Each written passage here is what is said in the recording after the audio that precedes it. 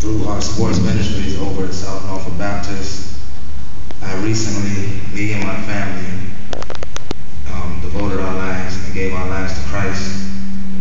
Um, it started with football, and we had a football league. And while football was going on, um, we had Pastor David. He came out to the field like every day. We were practicing, it's 95 degrees. Pastor David comes out, preaches praise for all the kids and the coaches. I said to myself, that's a dedicated man. And whatever church he pastors for, I think that's somewhere I want to be. So that's what got me in the church. Um, as football season came close to a end, we um, didn't know what we were going to do with all the kids. I mean, we're in an area where there's not a lot offered children. Same area I grew up, I, did, I was not into church. There was nothing offered for us. Nothing but trouble out there. So um, we decided that we were going to try and start a basketball league. And um, we found a league, you know, Urban Awareness Basketball League. We joined with other churches, Bethany Baptist, um, Mount Hermon. We have the um, Chesapeake Housing Authority and um, Portsmouth Youth Basketball League. They also came in with us. We continued to pray because we didn't have any gym space. The Lord blessed us with four gyms so we could practice and play.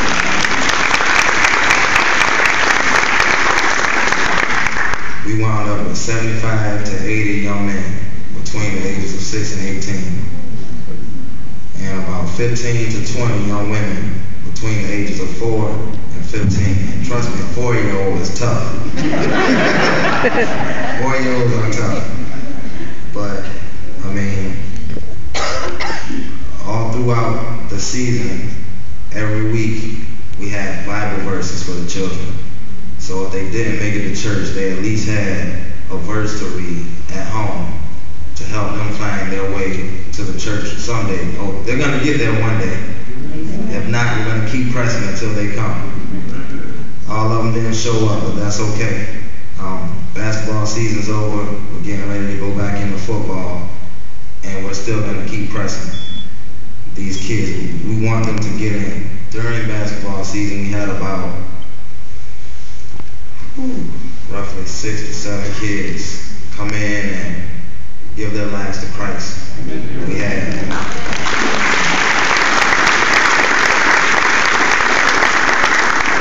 quite a few baptisms, myself and my son included. Um, Mr. Garnett, I know I'm not going on.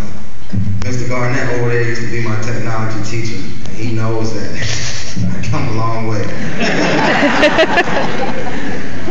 um, so, I mean, they gave me three to five minutes. I was hoping they told me 20 to 30 seconds I get on the stage right now, but it's, it's okay.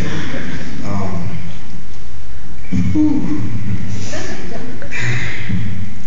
I really don't have much else to say. Just thank you, Jesus,